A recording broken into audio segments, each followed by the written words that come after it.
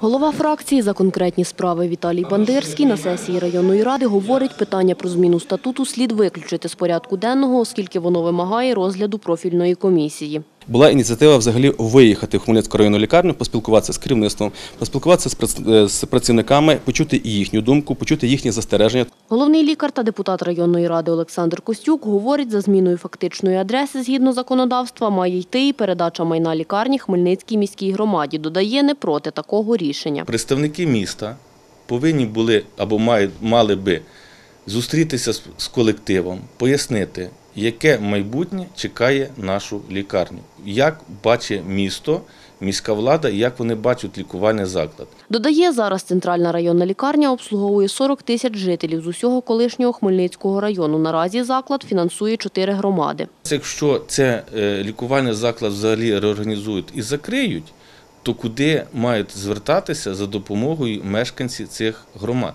Завідуючий хірургічним відділенням Василь Антонюк говорить, при реорганізації його відділення може чекати повне розформування. Тому що місто укомплектовано хірургічним відділенням. Проблема в тому, що буде скорочення однозначно всіх. А куди переведуть, якби нам сказали, вас розформуровують, вас ваше відділення переводять туди-то, туди-то з конкретними працевлаштуванням. Завідуюча інфекційним відділенням Світлана Прозорська каже, колектив стурбований можливим скороченням у майбутньому. Тому що, звичайно, ми це розуміємо, що інфекційне відділення, воно навіть відділене від центральної від районної лікарні від корпусу. І ми завжди стоїмо на е, такому порозі, е, чи нам бути як е, структура, чи нам взагалі не бути як структура.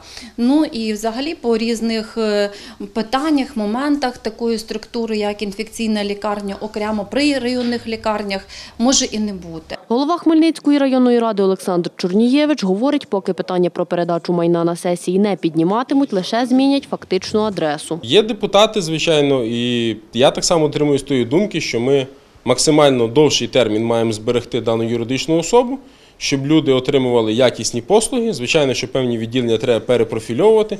Нас не так давно її виключили з переліку ковідних. Олександр Чорнієвич додає, питання було розглянуте на всіх сесійних комісіях. Та говорить, питання скорочення персоналу керівництво лікарні має вирішувати в діалозі з владою міста при передачі майнового комплексу. Заступник Хмельницького міського голови Роман Примуш каже, міська влада в лютому вела переговори з районною радою щодо передачі лікарні на баланс громади. Позиція залишається, що заклад повністю зберігається як заклад охорони здоров'я, тобто він буде функціонувати в тому вигляді, який- є.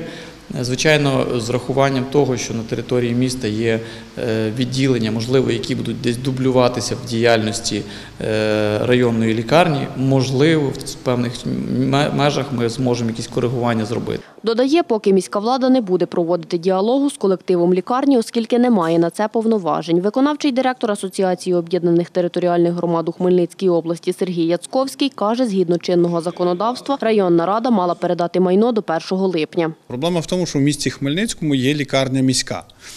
І беручи на баланс районну лікарню, місто Хмельницький, ну, дві лікарні місту не потрібно. Місто повинно розглядати, що робити з такою лікарнею надалі, е, в який спосіб її утримувати. додає громада має можливість співфінансування. Хмельницька міська рада насправді має право ввести до складу співзасновників Росошанську, Лісогрінівецьку, Гвардійську, Чорноострівську і інші е, ну, і вся в нас громади Хмельницького колишнього району і спільно утримувати. Надалі цей процес не заборонений. Додає, лікарня відповідно до реєстрації зараз сплачує податки Росошанській громаді. Діана Колесник, Іван Мовчан. Новини на Суспільному. Хмельницький.